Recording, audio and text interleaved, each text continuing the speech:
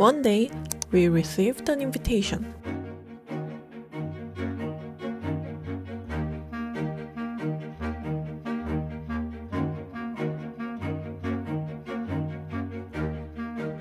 Oh, it's from the ambassador of the Dominican Republic.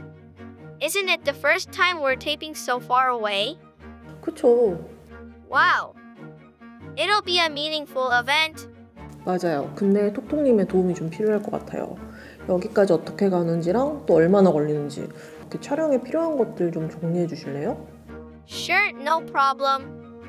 그럼 이거 말고 한국이랑 도미니카 공화국 사이에 어떤 일들이 일어나고 있는지 자료를 좀 찾아볼까요? Yes.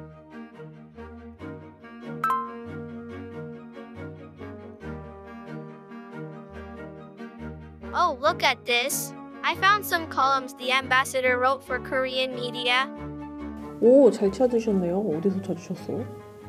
It seems he's interested in economic security. 그러게요. 양국이 경제 안보를 강화해야 하는데 그 과정에서 또 다른 중요한 기회를 찾을 수도 있다고 그렇게 말씀을 하셨네요. Wouldn't it be good to ask some questions related to this area? There are many issues to be solved globally at this time. 오, 좋은 아이디어인 것 같아요. 오, 역시. 역시 톡톡님. I'm awesome, right? 갈까요? 네? 저희 오늘 멀리 가요. 어디 가는데요? 멀리. 아, 맨날 멀리 가. 서울을 밖으로. 일부러 그러는 거예요? 아닙니다. 빨리 타시죠. I thought we were finally leaving, but we almost left one of our camera directors.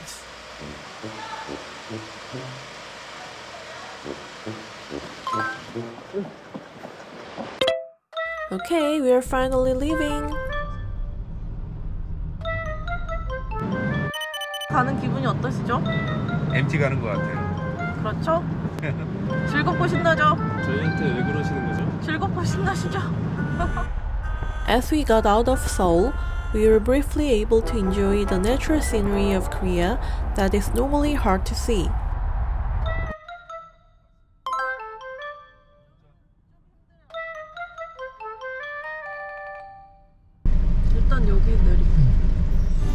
Finally arrived at our destination. 여러분, 드디어 오늘 장소에 도착했습니다. 어디에 와 있냐면요. 바로 여기입니다.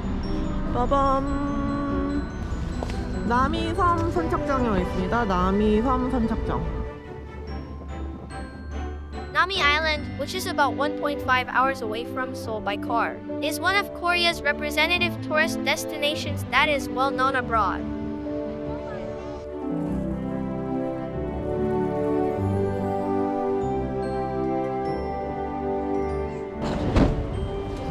저희의 짐입니다. 이걸 가지고 배를 탈 거예요. We went to the venue where we promised to meet the ambassador. 회사님 오셨어요? We saw the ambassador walking toward us from afar. ambassador! It's great to see you here. Fantastic. Nice to see you again. How have you been? You're looking very elegant. Thank you very much.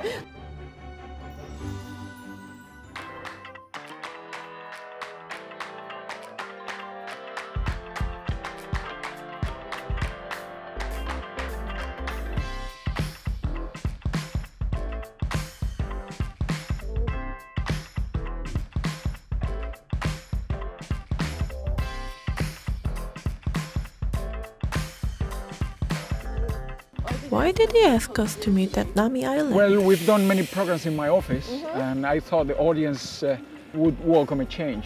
And it turns out we have a fantastic exhibition here since September, Uh-huh. and it has been extended for three more months. Oh. It's called the Republic of Color. Uh-huh.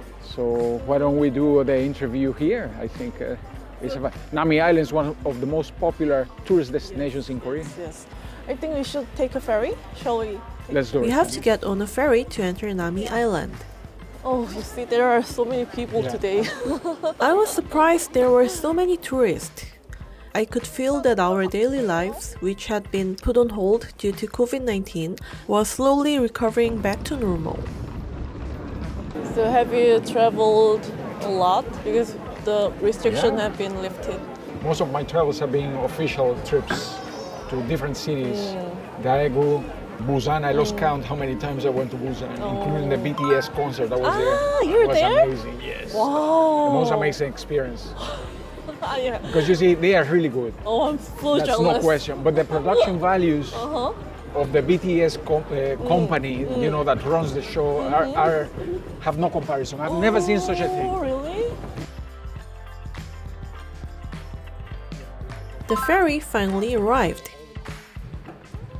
The ambassador and I decided to go upstairs. It was a little cold, but we were able to enjoy the scenery of the nearby areas.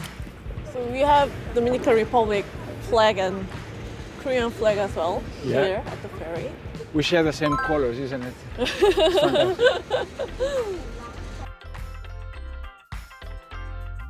I'm wondering why you chose Nami Island to hold an exhibition.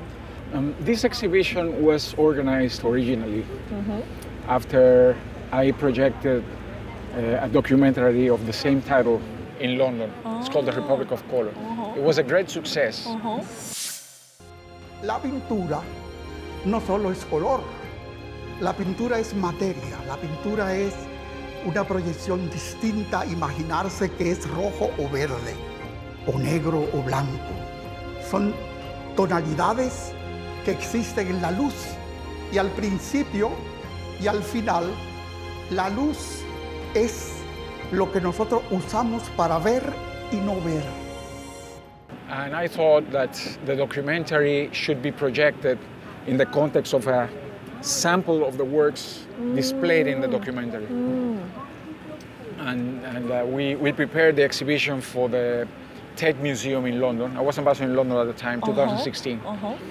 So I presented the proposal in 2017, and they told me, well, you know, we are going to put you in the pipeline, oh. but it takes five years because we, we have so many other exhibitions uh-huh. waiting in line. 2017 plus five is 2022. I'm no oh. longer Oh. ambassador in London. So what I did, I took my proposal to my following post, Qatar. I was ambassador in Qatar. I presented it there right away. At the uh-huh. first Dominican week I uh-huh. celebrated in Qatar. And then I left Qatar for Korea, where I'm mm. posted now. Mm.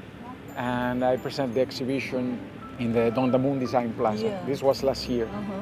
It, it was a great success. Mm-hmm. And I thought, well, you know, after we put this effort, we should find another place mm. where we can continue sharing this sample of Dominican culture with a wider public. And it was, as expected, a major success. I could feel his passion of wanting others to know about his home country. As we talked, the ferry arrived on Nami Island.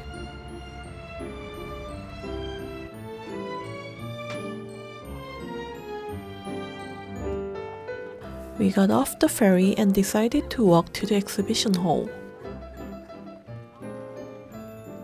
It would be a 10 minute walk to the exhibition. Now, isn't this amazing, this place? Yeah. We're in this corridor of pine trees. Yes. It's been a while since I've been to Nami Island, but the beautiful scenery was the same. We finally saw the hall where the exhibition was being held. I wondered what kind of artworks would be on display.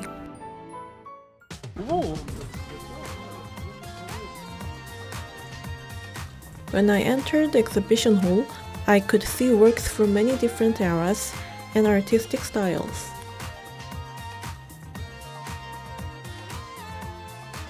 There are more paintings than I expected. 25 masterpieces of Dominican 25. painting. Wow. Shall we take a look around? Well, before before starting, I think uh, the key question is why the title? Why the Republic of Color? That's the title of the documentary that inspired the exhibition. Many of, of the pieces here represented were painted by immigrants that came running from Europe, from the wars in oh, Europe, and became Dominican. Mm. And by arriving at the Dominican Republic, their color palette changed completely. Mm. Look at this, for example, George Hausdorf. This is a sunset. It's a sunset in January. Uh-huh. It's the most amazing sunset that we have very intense colors. Uh-huh. It reminds me of Impressionist arts. Yes. Yes. And, and you compare what Hausdorf was doing before coming to Dominican Republic. Oh. There's no such intensity. Oh, I should I should compare that.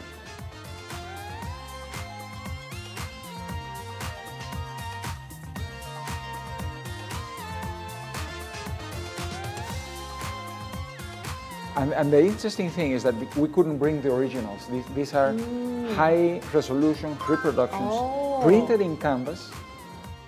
Although they weren't originals, they were printed so delicately they felt like originals.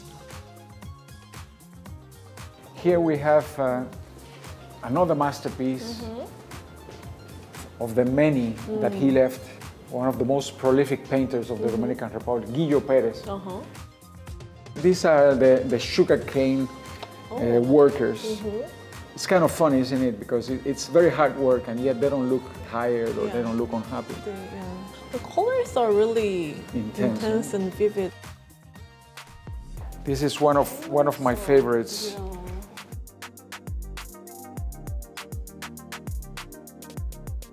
Why do you like this piece so much? I, I, I like it because it's, it's so typical. It's so typical of, of this uh, lushness of, of the environment, plus uh, the activity of, of the female settlers. I, I think we all have, uh, uh, in, in some way, uh, this in our own respective countries. I, I just, uh, this year we had a fantastic series, Pachinko, depicting the role of sellers here in Korea Yeah. uh, from during colonial times and uh, after, no? You can see uh, by, by the contortions in their body that they're just not passively waiting for people to arrive, but they're attracting. And, you know, they, this, these contortions uh, are- are a way for the artist to convey the movement, no? Oh, and I really like that you mentioned the posture of the woman. They look very active. Although the two countries are physically far apart, the daily lives of the people living there did not seem much different. We have a, a devil. Uh, the devil is the typical creature of carnival. Mm. So this devil is, is a mulatto, painted by Vela Zanetti. Mm-hmm. He, he was born in, in the same hometown of my wife, Burgos. Mm. And not only he, he developed as a painter, he had already studied and he had already painted in Spain, but he really developed as a painter and as a muralist in the Dominican Republic. Oh. Most of the most important murals in the Dominican Republic, in public buildings, uh-huh. in churches, uh, and eventually in the headquarters of the UN in New York, uh-huh. were painted by him. Oh, this my personal favorite of all the, the ones oh. here is this one. Mm-hmm. It's uh, Perico Ripiao hasta la amanezca. It's mm-hmm. basically merengue till till dawn breaks. no? Oh. And here, this is a rural scene. You have mm-hmm. the three musicians, and then you can see the movement of all the couples dancing, enraptured till till the dawn breaks. Oh, it shows the passion of Dominican Republic. Yes, people just love to dance all the time. I wondered what message the ambassador wanted to convey to people through the exhibition. culture is what we are, right? Mm. Uh, when we meet, we exchange business cards. Mm. When countries present themselves, mm. what do they do? They present their culture. So this is what the Dominican Republic is: a colorful country, a creative country, a country of mixed descent, yeah, a mixture of cultures, of races, of languages, of influences. And when you go to Dominican Republic, this is what you will find. I didn't want my meeting with the ambassador to end after coming all the way to Nami Island. We decided to talk some more. Shall we start? Okay, so Ambassador, last year, 2022, was the 60th anniversary of our bilateral relations, but it was also a very tough year for the world. Has there been a change in the priorities of the cooperative relationships between our two countries? I think uh, clearly the situation calls for deepening what was already going on. Uh, before the Ukraine war, we were promoting additional work on the energy transition. Uh, Korea is already a, player in Dominican Republic. We have POSCO enlarging our capacity for LNG storage. We have SK with clear plans for the energy transition and also seeking to become a player in LNG distribution and, and generation. So what we were doing before, now I think uh, we need to do even more uh, with a long-term view. We need to think about developing a hydrogen economy and, and, a whole ecosystem attached to it. And Korea has mastered these technologies. In fact, some of the players I have mentioned. Uh, we, we want to work with Korea uh, on, on an efficient energy system covering electricity and transportation. We want to work with Korea in enlarging our road network, our rail network. So all these issues should be part of, of uh, future agreements that gives us the certainty we need for the next decades that, okay, this is what we're going to do. We're going to do it with Korea, and we're going to do it with Korean companies. Uh, another element uh, in, in, the equation that has to come into play, and we welcome the decision of the Korean government of inviting the Dominican Republic to negotiate a bilateral free trade agreement. The Dominican Republic presented data analyzing the expected economic effects of a potential FTA between Korea and the Dominican Republic. According to the report, if an FTA were signed between the two sides, there would be an increase of around 50 export items from the Dominican Republic to Korea, with an increase in the amount of exports of $85 million the Dominican Republic predicted an increase in exports of agricultural and processed products, such as plantains and sugar, underground mineral resources, such as ferronickel, and major industrial products, such as medical devices. Although this report did not specifically analyze Korea's exports to the Dominican Republic by item, overall exports are expected to expand due to significant tariff cuts across all industrial products. As of October 2021, Korea's main exports to the Dominican Republic are passenger cars, other heavy electrical equipment parts, trucks, heavy construction equipment, pharmaceuticals, and auto parts. This is, I think, an essential key, an essential piece of the puzzle to realize all these long-term benefits uh, ahead for, for both of us. Uh, think about the energy transition. I mean, we need to import technology, we need to import machinery, services that need to be provided. So, are we going to pay taxes for this? I think free trade is needed. And we need to balance the equation. I think uh, we, we have a lot to offer to Koreans, to Korean consumers. So, without free trade, we won't be able to export more uh, than we are already doing into Korea. So we often hear the term economic security these days a lot. Economic security refers to the use of economic means to promote national security. In other words, it means being able to fully access and utilize national resources, finances, and markets in order to maintain the state's power and wealth above a certain level. Recent economic security issues include urea crisis stemming from China, Japan's tightened export controls on chipmaking materials, and Europe's risk of gas shortages. The reason why economic security has the spotlight in the international community these days is because of the global supply chain crisis. The global supply chain, which has spearheaded the world's economic growth in the era of globalization, is being pointed to as a source of instability that can weaken national competitiveness through the weaponization of interdependency. The causes of disruption in the global supply chain include the intensifying and prolonged strategic competition between the US and China, the aftermath of the COVID 19 pandemic, and Russia's invasion of Ukraine. Would that bilateral FTA between Korea and Dominican Republic help to strengthen the economic security? Clearly, um, uh, there's an element of economic security involved uh, when it comes to trade. If we trade better, if we have free trade, then we become reliable suppliers of each other. Mm-hmm. And Korea is already exporting everything they want to, to the Dominican Republic, providing us uh, uh, the opportunity of serving Korea as an element uh, on, on, their own economic security by, uh, you know, be, being an important market.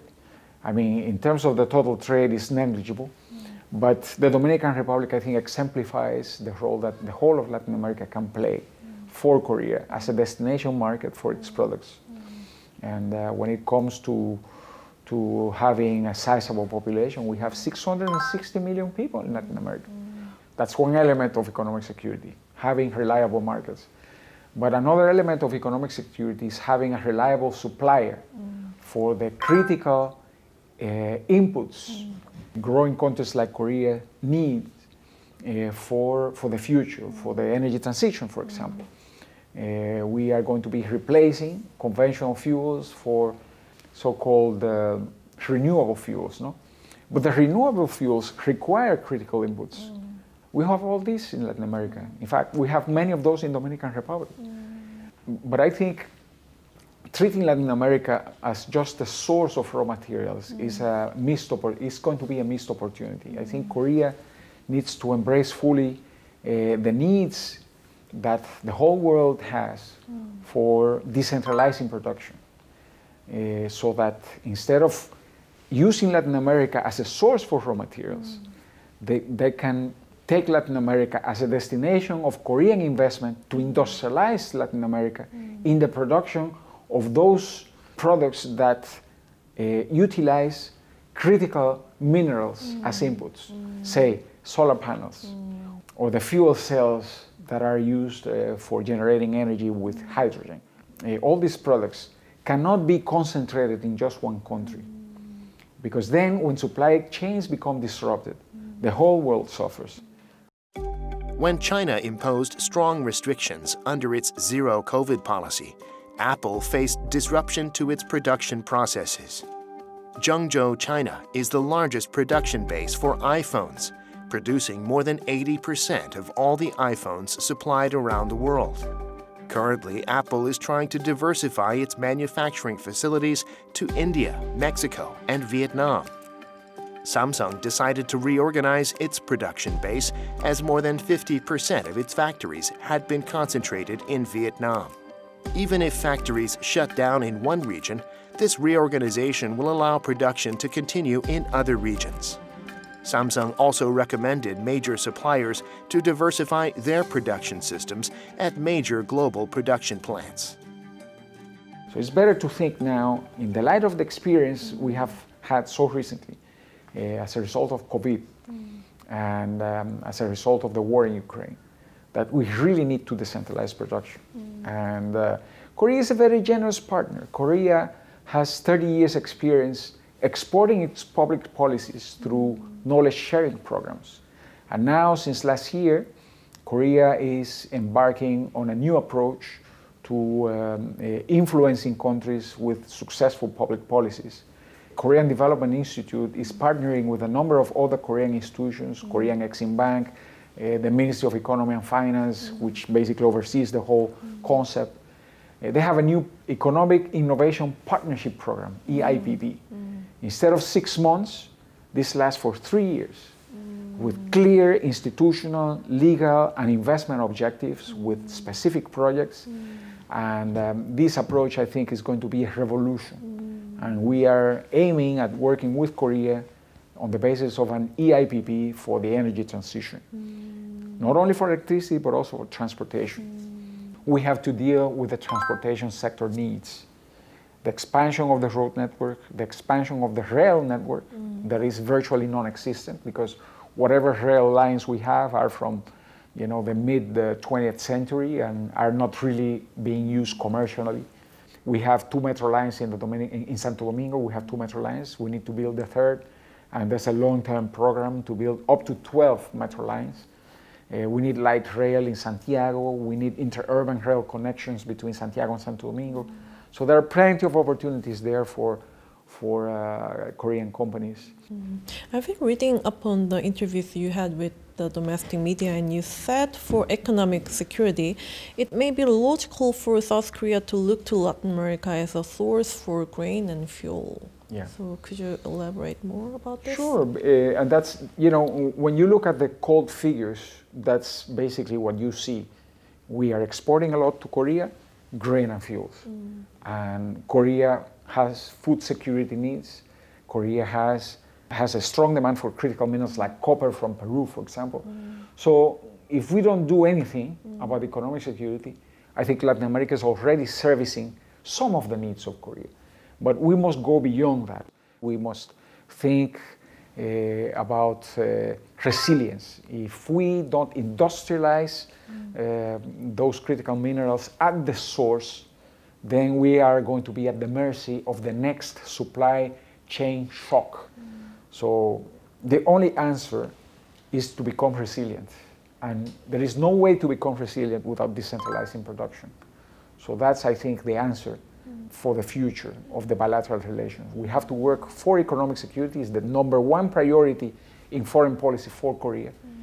The whole of Latin America, but in particular the Dominican Republic, is ready for Korea to work uh, on economic security as the global pivotal state it aspires to be. So we can be a close ally for economic security. Definitely.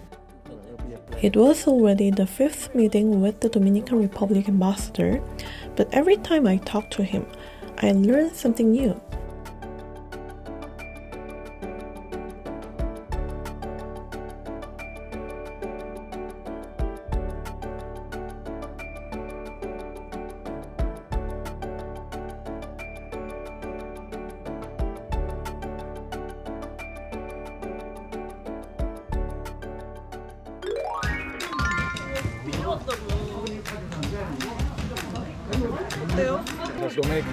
If I don't dance, I, I, am no longer an ambassador.